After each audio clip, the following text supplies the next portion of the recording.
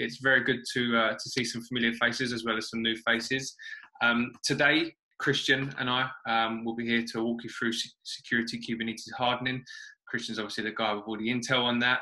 Um, but this meetup, I'm happy to say, is in partnership with Cloud Native Northern Sweden, which is also on their meetup page. I'm sure Cristian can give anyone more information about that meetup group as well. They do some great stuff in the Swedish community, um, and obviously with the collaboration over here in London.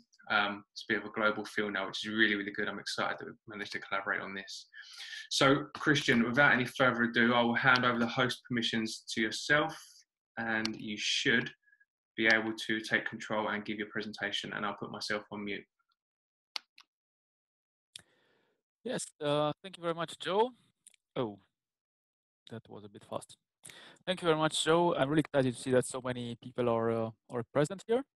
So as Joe said, this is a collaboration between the UK-based DevOps for Everyone and the Nordic-based um, Cloud Native um, Nordics.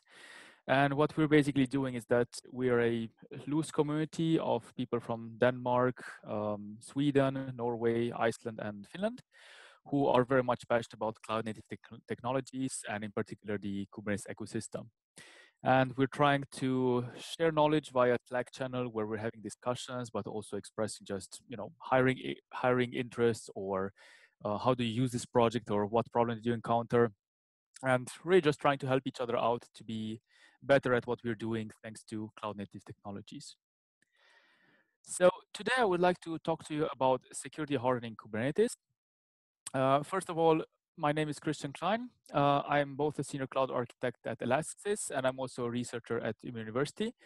And what I pretty much do is I'm a researcher, teacher, and consultant in cloud computing and information security. And uh, is the company behind the compliant Kubernetes open source Kubernetes distribution, which basically packages best of breeds open source projects uh, in order for reducing the compliance burden with with various uh, regulations such as GDPR and HIPAA. It's open source and CNCF certified, and we're providing a, um, it both as a managed service, but of course you're also free to download it and to contribute to it since it's open source. And I hope that by the end of this presentation, I would have convinced you that indeed there is a good reason for this project to be uh, to exist. So today I will talk about, first of all, why security important, what are the Kubernetes attack vectors, how to security harden each of these uh, attack vectors, and then we'll end up with hopefully plenty of time for question and answers. So let me start with why is security important. Now, since so many people have joined this meeting, I assume that there's no point in me convincing why security is important. The real question is, how do you convince your boss to allow you to security harden your Kubernetes cluster? And let me pre-package a few arguments for you. So if you're dealing with any kind of personal information, and I assume that quite a few of us are doing that, GDPR Article 25 tells you that you should have data protection by design and by default. And Article 34 tells you that in case there is a data breach due to personal information, you have to communicate that to the data subject and your national regulator as soon as possible. Failure to comply to GDPR means that you can be fined by 4% of your global turnover or 20 million euros, whichever is greater. So I hope that these numbers are kind of convincing you that whatever your salary or the salary of your security team is, it feels like a fraction of what fines could be. Now, um, I wanted to to also to also show you that well, this is not just you know some regulation that is there out there that bureaucrats have invented, but it has some real life uh, consequences. And unfortunately, I would like to draw your attention to an incident that happened last weekend. Uh, in Finland, there was a huge psychiatric center, which was, my understanding, quite at the forefront of digitalization. And they have been uh, attacked by ransom back in 2018 and 2019, according to what I understood. And um, in this weekend, the attackers have decided they're going to basically uh, blackmail the patients of that um, of, of that psychiatric center and basically threaten them that okay either you pay up 500 euros or we're going to release your patient's records your most intimate details to to somebody to yeah on the dark net. And yeah I, I don't want to get into the whole story. Apparently, the CEO knew about these breaches and has tried to hide it away because of a, uh, an acquisition that was pending. So I think that we're going to hear about this story quite a lot.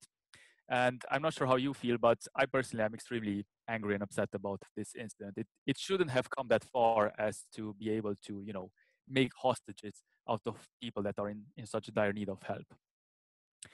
But anyway, let's not uh, stay in the complaining side, but rather let's look at this a bit more rationally. What, what are the risks when it comes to putting, um, digitalizing your enterprise? And I would say that my characterization from worst to least bad is that attackers may steal money, they may steal data, they may corrupt data. So for example, I don't know, to add themselves some extra cash in their bank account. Data might get lost or your business might just be disrupted. And then finally, they might be doing some kind of unauthorized operation. So here, for example, it's pretty popular to just find some kind of VMs that are free and then do Bitcoin mining on them or sending spam, although that is being increasingly difficult since everybody kind of blocks ports 25 nowadays, and so on. So the solution to that is very generically called information security. And I have copy pasted bits and pieces of its definition from Wikipedia just to go through it a little bit again. So InfoSec is the practice of protecting information by mitigating information risks. It typically involves preventing or at least reducing the probability of unauthorized inappropriate access. And then the next part is, although it may also involve reducing the adverse impact. And then finally, all without hampering organization productivity. So I've highlighted the things that feel to me a little bit to be the most important. So first of all, the focus of InfoSec is mitigating information security risks. Um, the only certainty of making a secure system is to unplug it. And even there, um, if you are familiar with the Stuxnet attack, it seems like a sufficiently gifted attacker with a sufficiently high budget can even go via air gap networks or can use social engineering to penetrate your infrastructure. Then the second one is that InfoSec is not just about preventing breaches, but it's also reducing their adverse impact. So for example, an attacker might be able to gain access to one database, but then they should not be able to laterally move through infrastructure and gather everything they can. And there's also very much focus on doing all of this without hampering organization productivity. So you shouldn't, you know, have to sign off 20 forms in order to do a new deployment of your software, but you should kind of try to find a, a conscious balance between risk and speed in your organization. So how exactly does this work at a very high level? So first of all, we identify the risks and the potential threats. We evaluate the risks. Then we have to decide on what exactly do we do with these risks. Do we avoid them? For example, we're not going to store any personal information because the risk of doing something wrong is just too high. Or we're going to mitigate them by, for example, protecting this personal information. We can also share it. So this is a way of saying that we're just going to have a third-party processor for personal information, for example, and then it's their risk to take. Or we can just accept them. So for example, um, it is said that unfortunately how to deal with GDPR is often a little bit confusing for larger enterprises. And some of them has actually resorted to just, yeah, basically budgeting in fines and accepting as a tax until they can properly figure out how to deal with it once we decided what to do with a certain risk, we're implementing appropriate security controls. And then, of course, without uh, monitoring if this implementation is actually working and if the risk is actually being mitigated, we cannot really talk about having properly dealt with the risk. So I know that feels very high level and very wishy-washy, but I feel that when we're talking about low-level Kubernetes decisions, um, I often feel that people are getting stuck in here. So for example, just a few weeks ago, I had a discussion with some people, like, should you should you allow your developers to access secrets or should you disable that? They can kind of log secrets anyway, or should you allow containers to be running as root? But then if you don't allow them to run as root, then you cannot use the, any Helm charts out there. And this boils down to what are the risks? Do you accept those risks or do you prefer to avoid them at, at any cost? It might be that, for example, for a front facing application, that risk is just unacceptable. However, for a back office application where maybe you know the people that are using that application and you probably have already done a background check on them, maybe certain risks are more acceptable. So that's why I really want everybody to really think about this framework whenever they're deciding on how to configure their Kubernetes cluster. Okay, let me then talk about the Kubernetes attack vectors. So before I start enumerating them, let's talk about the larger context. So although of course this presentation is very much focused on Kubernetes, there are certain assumptions when we're speaking about Kubernetes hardening solutions. First of all, we're assuming that the underlying infrastructure is already already sufficiently hardened, right? There's no point in having discussions about where to store secrets or how to encrypt secrets or or how to protect them if everybody can just SSH in the Kubernetes master and retrieve them from there.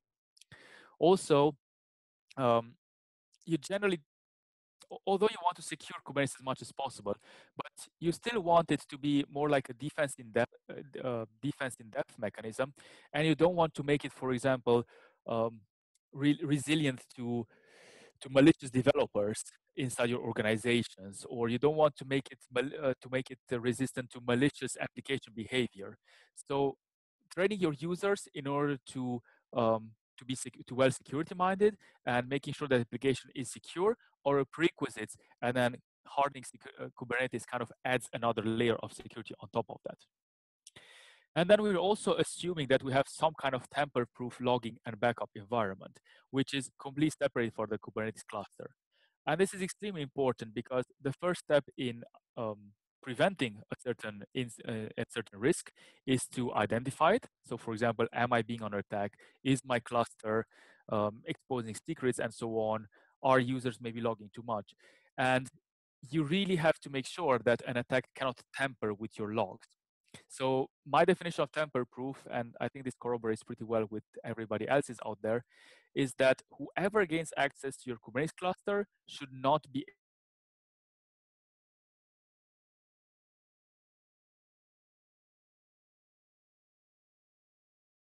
what are then the attack vectors of Kubernetes? And here I would like to, I'm, I'm not sponsored or affiliated in any way. Uh, I'm just a really big fan of uh, the book Kubernetes Security by Liz Rice and Michael Hausenblas. And they basically wrote a whole book. Um, it's not super thick, but still it's a whole book uh, talking about all the attack vectors related to Kubernetes. So for example, things like accessing uh, the machine and VMs, accessing the etcd database, and so on. And they even describe in very big details on how to mitigate all of these attacks. So if you are, for example, working in the InfoSec department of your organization and you're working with Kubernetes, I can highly recommend you to buy this book and to look through it. And there's even an associated tutorial to make you know more, more knowledgeable about it. So my presentation is essentially I would say giving you quite a lot of information from this book, but you can also see it as complementing and highlighting certain things that are not in that particular book. So yeah, consider this though a bit of an overview to just uh, give you a taste. So let me now discuss about how to do security hardening for each of the attack vectors. So it might come a bit uh, like a surprise to you that we need to harden Kubernetes to begin with. I mean, why can't we just have Kubernetes secure by default so that we don't need to have this presentation and the previous book at all? And this has proven to be a little bit of a tricky endeavor because Kubernetes at the beginning needed to prove itself as being something that improves development speed. So it really needed to give that wow effect that it just works, that you can deploy fast, that your rolling upgrades work, that your load balancers are properly configured. And this means, of course, that they started with some defaults that are more relaxed to really make sure that that wow effect is there. Which, of course, unfortunately means that it's not very secure by default. Um, and furthermore, Kubernetes is also a laser focused project. It has only certain responsibilities. So for example, it doesn't deal with topics such as intrusion detection or vulnerability scanning, and instead it allows these, um, these responsibilities to fall on the shoulder of other cloud native projects. So to sum up, Kubernetes is not secure by default, nor by itself. And that's why you should continue watching this presentation. So let me now go over what are, in my opinion, the biggest gaps in uh, the default security configuration and down to writing YAML, how to bridge these gaps. So the first thing that I would really suggest you is to enable Kubernetes audit logs and application logs. So application logs are generally being captured by something like FluentD, which is then configured as a daemon set to run on, on worker nodes. And then they forward these logs to some kind of log storage um, to the tamper-proof logging environment. And there, I'm a big fan of Elasticsearch and Kibana for, let's say, hot logging entrance. And maybe you also want to use some kind of cold logging via object storage or things like that. In case, for example, you, you're you're regulated by HIPAA, then you kind of need to store logs for approximately six years. And I can guarantee you, I don't think anybody managed to scale Elasticsearch to the point where it can retain data for six years. So then pushing the pushing the data, let's say the last seven years to Elasticsearch, and then keeping data for six years into an object storage such as S3 is a perfect uh, balance to, to have the best of both worlds. And then Kubernetes has a so-called audit log itself, so which pretty much means that it allows you to understand each and every API call that has been done um, against Kubernetes, when has a pod been created, when has a deployment been created or deleted and things like that. And if you're using kubeadm, uh, you pretty much what you're doing is that you're configuring uh, the API server with audit policy file, so as extra arguments, and audit log path. And afterwards, uh, you're configuring FluentD on the master node to catch these files and to forward them to your tamper-proof log environment. And then basically what you're getting is a bit like what I have shown in the lower side of this slide, where it basically says that this particular user um, has been trying to do a certain operation. So in this case, for example, uh, I'm not sure if you see my cursor, but the verb itself is list. So I have tried to, um, to list a certain uh, resource. That resource in particular is pods in the namespace kube public. And this operation was allowed because apparently I have some kind of cluster role binding called demo cluster viewer, and that allowed me to, to perform this operation. Now, if you only do that, unfortunately, you won't really get the full benefits of Kubernetes audit logging. So in this particular log, you see that I'm actually identified by my email address that I have done this operation, but this is also something that doesn't come by default with Kubernetes most of the time what I've seen is that people are just uh, taking the cluster admin token or uh, key and then sharing them among several developers and a CI/CD environment. And then, of course, you are confusing who exactly did this particular operation.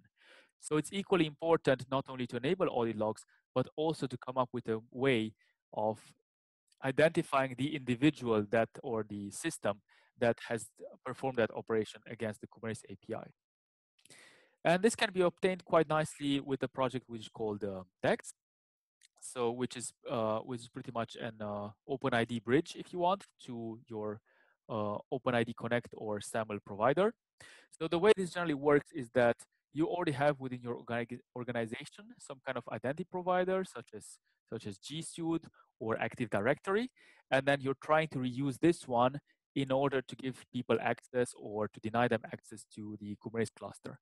And this is also very nicely, if you have a compliance department, you can also tell them then a very nice story that if a person leaves the organization or if a person moves department, then their authorization needs to be changed only one place and that kind of revokes their their access uh, in all kind of different places, as opposed to having to manually check if this person needs to be erased from the Kubernetes username and password static database or needs to be removed from this system and that system and so on.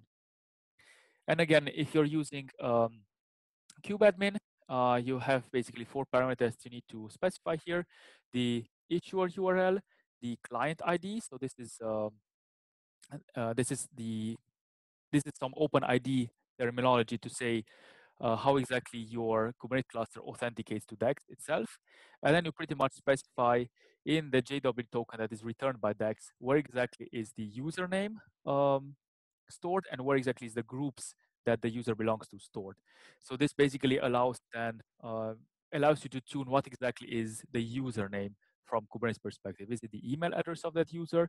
Is it maybe a unique identifier for that user? Is it maybe their, their display name? And so on.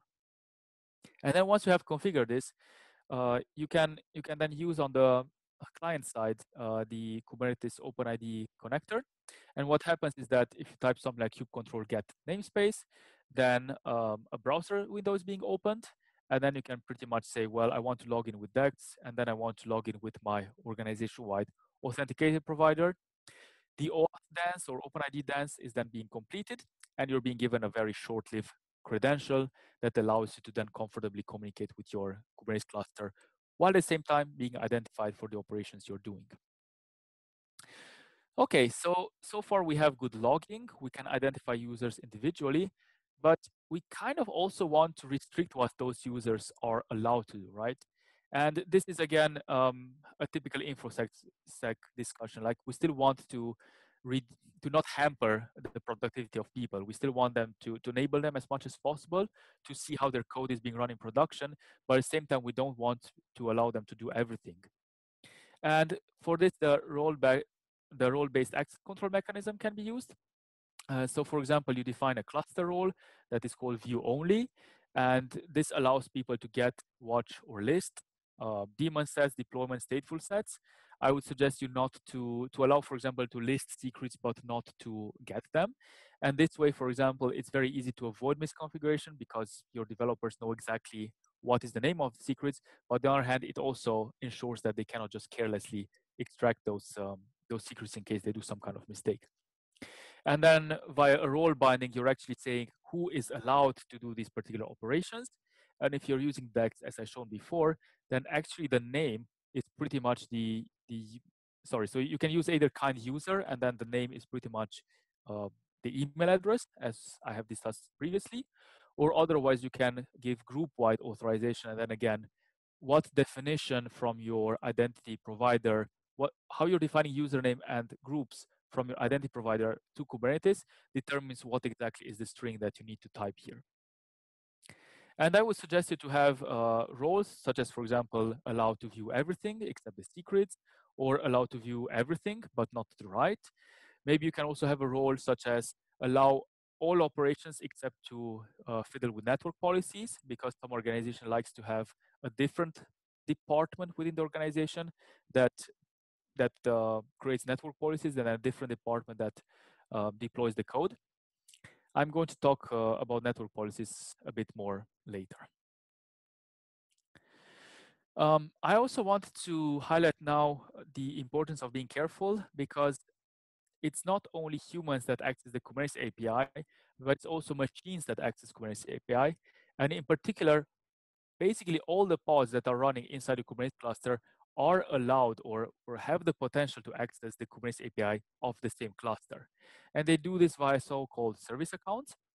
And what I suggest you is that if you don't need them, if, if there is absolutely no good reason for a pod to access the Kubernetes API, just uh, use this YAML command here, auto mount service account token to false, and maybe also create a service account, a default service account that is very restricted. And this way, or you can also also disable this uh, per pod. And in that case, basically, there is absolutely no way for this pod to any kind of operation against the Kubernetes API. So, which of course also means that in case its pod gets compromised, then the attack surface is a lot smaller since they cannot then um, talk to the Kubernetes API. In case um, role-based access control proves insufficient for your own needs, uh, there is this project called Open Policy Agent, which is pretty much like a firewall for your Kubernetes API. And it allows you, basically takes as input the API request, and it outputs, yes, this operation is allowed, or no, this operation is not allowed. And you can do all kind of fun things with this. For example, you can uh, configure that only trusted repositories uh, are allowed to, um, to be pulled from. So for example, you can say that, well, we're having this private Harbor, Harbor Docker registry that we are carefully managing, and if you're pulling for anything else, like for example, Docker Hub or, or I don't know, Quay, or some kind of other third-party registry that you have not uh, carefully vest, uh, carefully checked, then uh, basically the pod won't start because the pull action is just denied. And similarly, you can, for example, enforce that network policies. Again, I'm going to talk about, uh, I'm building here tension around network policies, right? So you can, for example, enforce that every single pod needs to be selected by network policies in order to make sure that, um, yeah, you they're, they're properly protected. You can also do other other things like this. For example, um, some sanity checks, like make sure that the ingresses have the right domain name, so that typos are not preventing the application from coming up, and so on. So like I said, it's a very flexible language that acts like a firewall for the Kubernetes API.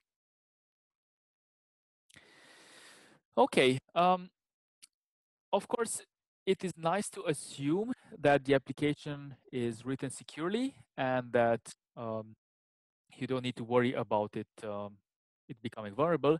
But of course, when we're talking about security hardening, we're kind of assuming that the attacker may potentially gain access, um, con control of an application. And then what we try to do is to reduce as much as possible the associated blast radius, so the damage that such an attacker can do. And what are the risks if an attacker gains access of a pod? Well, like I said, each pod has access to Kubernetes API by default, so they can potentially access the Kubernetes API and then run a more privileged pod. We have talked already about how to restrict this in, in the previous part of my presentation. They can potentially uh, try to escape to the host, but they can also potentially move laterally. So for example, to check what other pods in the system are vulnerable, or is there maybe a database pod to which I can use the use some random username and password to get access to. And in order to uh, mitigate these risks, um, people suggest to use pod security policies. So this is basically something that tells you what exactly or is a pod allowed to do within a certain namespace. And you for example, um, you can, for example, say that you don't want it in a specific Kubernetes namespace to run privileged pods. If your pod is privileged, then pretty much it can escape its containerization and just uh, get access to the host file system or the host PID table and so on. You can also make it drop all capabilities. So for example, there was a recent uh, kernel vulnerability just, just a few months ago, if I'm not mistaken. And what this basically meant is that if you had the cap net raw capability to your pod, then you could pretty much do everything you wanted with that specific host. But of course, if you were using pod security policies and dropped all the capabilities, then you basically didn't have to worry about this vulnerability and could just you know upgrade the Kubernetes cluster whenever it was suiting you and not the attackers. Another way of escaping the pod is via volumes. So for example, um, you can mount a host um, host path and then via that host path um, try to reconfigure the host um, so as to enable an attack. And in order to mitigate those risks, pod security policies allow you to configure only a whitelisted uh, number of volumes that pods are allowed to, to mount. So for example, here we're allowing to mount a config map, we're allowing to mount an empty directory, we're allowing to mount secrets, but very importantly, we're not allowed to mount host path or anything like that. And then the other uh, commands here are or just regular stuff that one does in order to make sure that this pod doesn't have access to the host network or the host IPC namespace or the host PID uh, table. Um, I should here just caution you, uh, there is now ongoing, so as, as you might notice, the pod security policy API is still in beta, and there are quite intense discussions nowadays on whether this uh, API should be kept or whether one should rather refer people to open policy agent in order to achieve the equivalent effect of pod security policies. But for now, I find that pod security policy is very clear and very, it's very easy to follow what is intention. It's very easy to configure. So as long as it exists, I suggest you to stick to it. Okay, let us now talk about network policies. So let's assume that an attacker has gained access to a pod. The first thing they're going to try to do is to move laterally to see what other pods they can get access to. Is there maybe a database pod that is not sufficiently protected? Is there maybe a Redis key value store that is by default assuming a trusted network and so on. Uh, can I, can I, for example, send spam for that pod or maybe mount a DDoS attack against an unknown victim from that particular pod? And in order to mitigate this risk, um, Kubernetes implements network, or let me put like that, Kubernetes defines network policies that needs to be implemented by some kind of container network provider. Uh, the one that I prefer is Project Calico, but there are also other ones that implement network policies.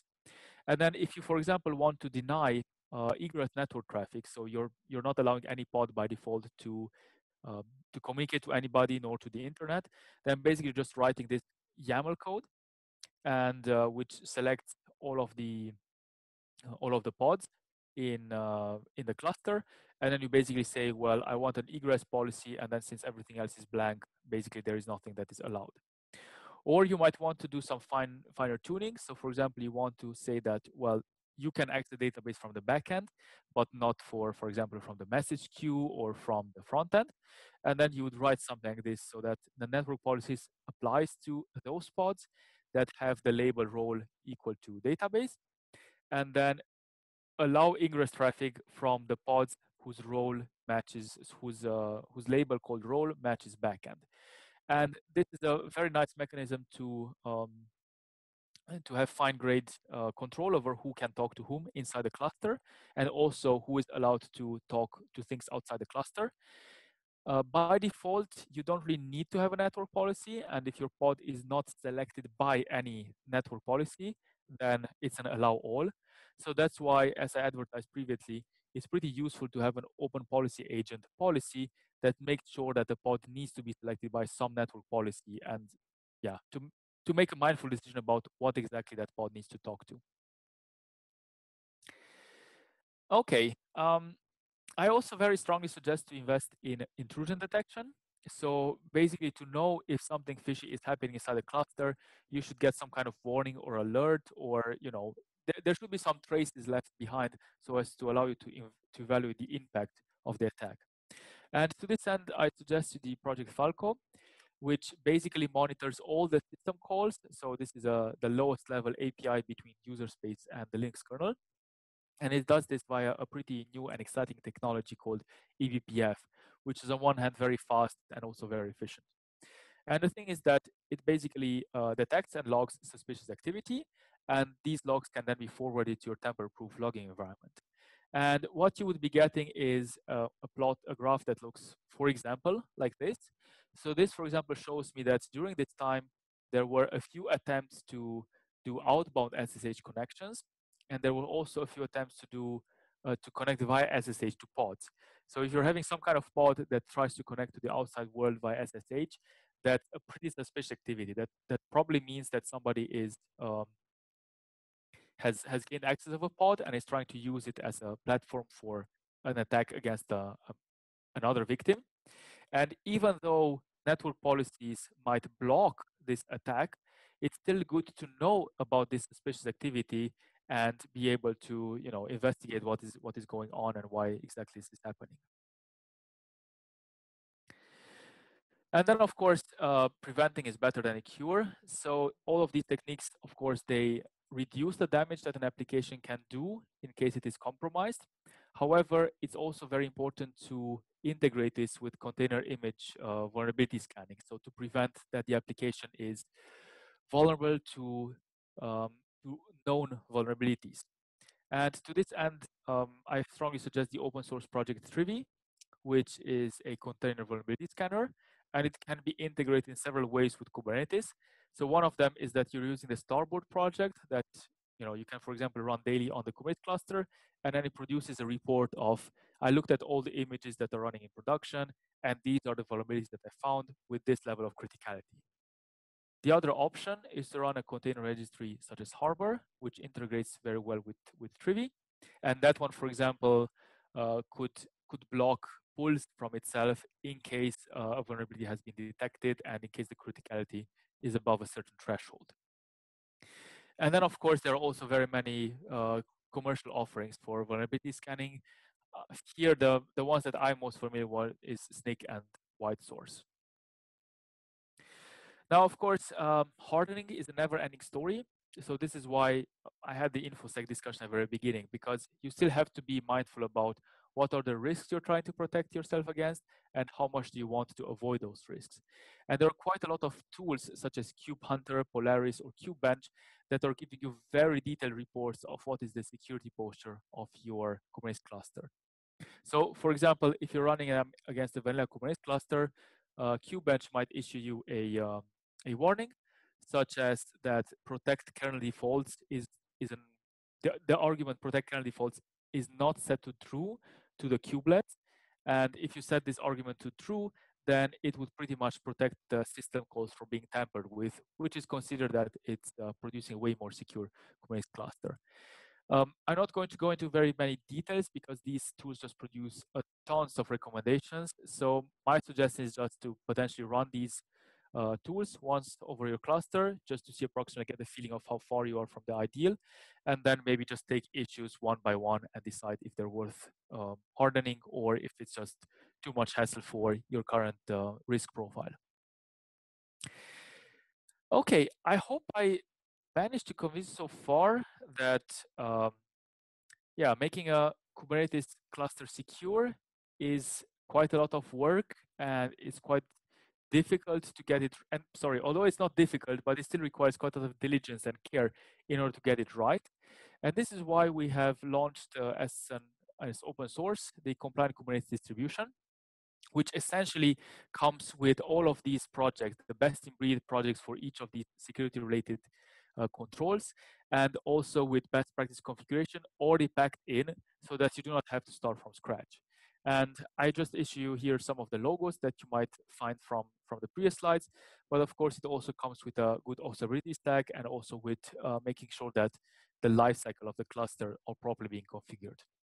And as I advertised previously, so it comes actually with two Kubernetes clusters, one to run workloads and a minimum number of pods just to make sure that logs and observability is forwarded. And then all of the other tools are actually being executed in a second cluster which acts as a tamper-proof environment, but all standardized on top of Kubernetes. And we have it available as a, as a managed service in case you don't want to have a headache. But of course, you are also free to run it as an open source project. And in which case, we also very much like to see how what is your experience with it and does it how well it reduces your compliance burden and maybe you can even contribute and uh, security harden even more than we managed to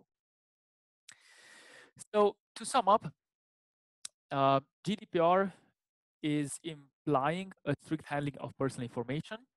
And among others, it enforces security by design and by default. And it also requires you to do proper breach reporting, both to your customers, but also to the relevant authorities. And we have been talking about Kubernetes hardening, in particular how to protect the Kubernetes API, but also how to restrict application permission to reduce the blast radius. And we have been also talking about uh, vulnerability scanning. And finally, I have shown that there are quite a lot of things that are necessary to, to make Kubernetes secure, and which is why I have also briefly talked about compliant Kubernetes, which, which tries to make, uh, make it as easy as possible to be secure and compliant while at the same time running at the speed of Kubernetes.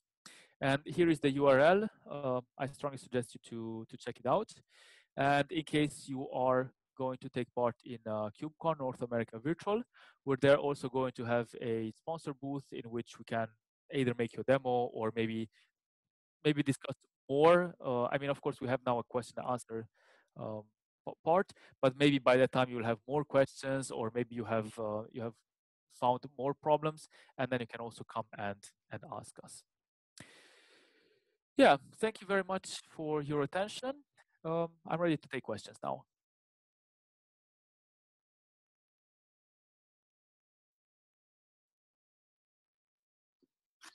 Did you see the question come up in the group chat, Cristian? No, let me see where I can find them. Um, I'm not sure I can easily access the group chat if I'm uh, if I'm uh, ah now I managed to find it. So uh, the first question is how to limit access, network access between containers in the one pod, same pod, not between pods. Um, that's a very good question.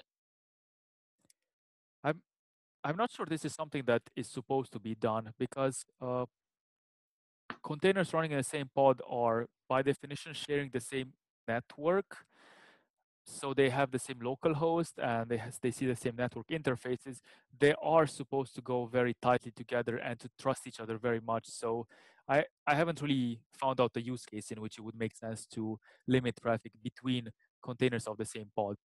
I would argue that according to the current best practices if you feel the need to to put some kind of firewall between containers of the same pod that's probably suggesting that you should uh, separate the that you should yeah create two pods out of it and there you can add proper network policies to it. So that that would be my suggestion. The second question do you think kubernetes will move more from default allowed policies to default deny policies? Um, I, I don't think so right now because I think it still tries to give that wow effect that things are just working. I still it, I still think it's kind of battling into buying in developers and to to convince them that um, that yeah Kubernetes is the right tool in order to make them more effective. So in case you're securing Kubernetes, then I assume it will be harder and harder to to produce that wow effect. Then again, what I do think will happen is that maybe uh, Kubernetes will will issue perhaps more warnings or more recommendations, or there will be more readily packaged uh, Kubernetes distributions that offer security out of the box. And well, compliant Kubernetes is one initiative. OpenShift is a bit going in that direction too. Like it's a Kubernetes distribution that's basically heavily locked down in order to make it more secure by default. Uh, another question, have you had a chance to try out virtual clusters? Have you rated how well they isolate virtual clusters from each others? Unfortunately, no, I haven't had uh, a chance to, uh, to check out virtual clusters.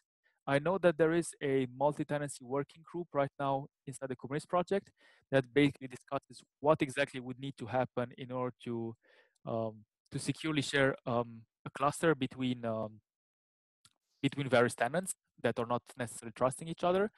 But my understanding is that it's still far away from from getting there. And so my recommendation would be not to share Kubernetes clusters with people that you're, let's say, fundamentally distrusting. How to secure DNS? Um, I'm not sure to quite understand the question. So is about how to secure CoreDNS, the DNS server that is running inside the Kubernetes cluster. Um, in that case, network policies can can also be used. So you can, for example, I, am not sure if this would make sense, but you can, for example, restrict which pods can access uh, CoreDNS and can can talk to CoreDNS via network policies. In fact, one of the early mistakes that we did in compliant Kubernetes was to put two restricted network policies to the point where pods couldn't even discover the neighborhood because they didn't have access to CoreDNS. So I, I think that would be my take. Just uh, just use network policies if for some reason you don't want your pods to have access to CoreDNS. I noticed Microsoft Azure isn't on the compliant list for cloud provider. How bad is it to host a Kubernetes cluster on Azure from a compliance standpoint? Uh, yeah, this is a little bit of an omission on, uh, on my side. Um, we are having actually in the current backlog to provide Azure support, and we're envisioning more like two flavors of Azure support. So one of them which would integrate tightly with uh, with Microsoft Azure. And for example, if you're creating a load balancer in Kubernetes or a block storage in Kubernetes, then that would talk to the Azure API and you know do the necessary magic to provision those resources. And then a different flavor that would run on bare virtual machines, where you wouldn't have any kind of uh, Azure service account. So there would be no integration between the Kubernetes cluster and the Azure API, which would be a little bit more isolated and a bit more sound from a com compliance perspective. So I would say it's let, let me update that chart right after I finish uh, this presentation. It's it's in the it's soon to be um, Azure support is soon to be added to compliant Kubernetes.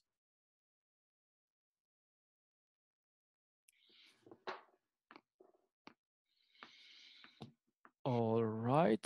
Uh, does Falco support only eBPF? Do all kernels support it?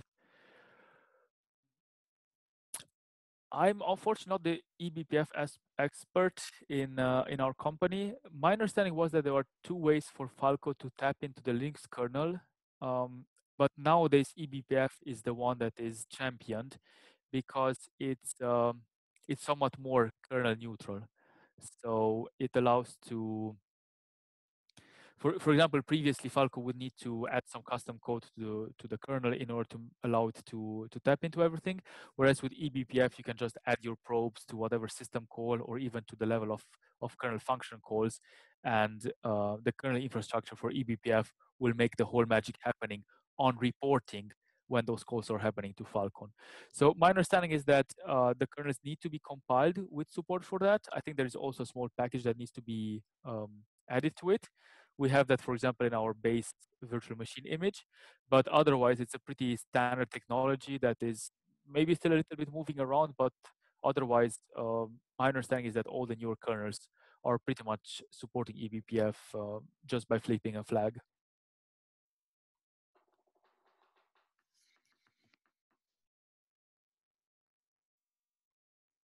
Thank you.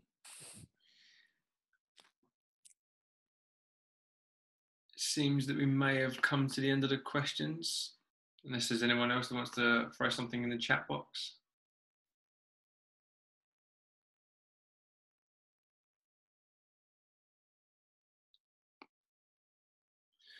No.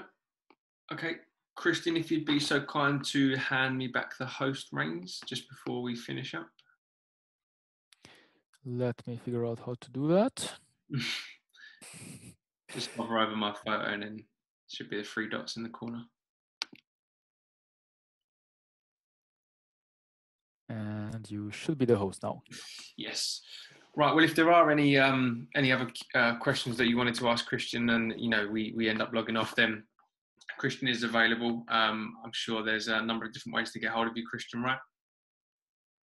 Um, yeah. Please feel free to uh, to send me an email or um, yeah, mo- mostly email. Great. But otherwise, if you prefer a face-to-face discussion, then of course we can also schedule that. Excellent. Yeah, I can follow up um, with your contact details after if that's right. Or I'll put it in the meetup group at the very least anyway, or at the end of this video when I upload it. So, Cristian, I really appreciate your time. Thanks very much for that. It's been really informative. Um, I think we peaked at about 36 or 37, so that's a pretty good turnout. And I'm sure there's going to be a lot of feedback after this as well once I've published it. So, once again, thanks, Cristian, and thanks everyone for tuning in. Um, unless there's anything you wanted to sign off with, Cristian. No, thank you very much for the invitation, and uh, yeah, thank you for organizing it. No worries at all. And thanks also to the audience for uh, for tuning in and for all the great questions that uh, have been posted in the chat channel. Absolutely, absolutely. Hope to see you all at the next meetup. Thanks very much, everyone. Have a great afternoon. Thank you very much, everyone.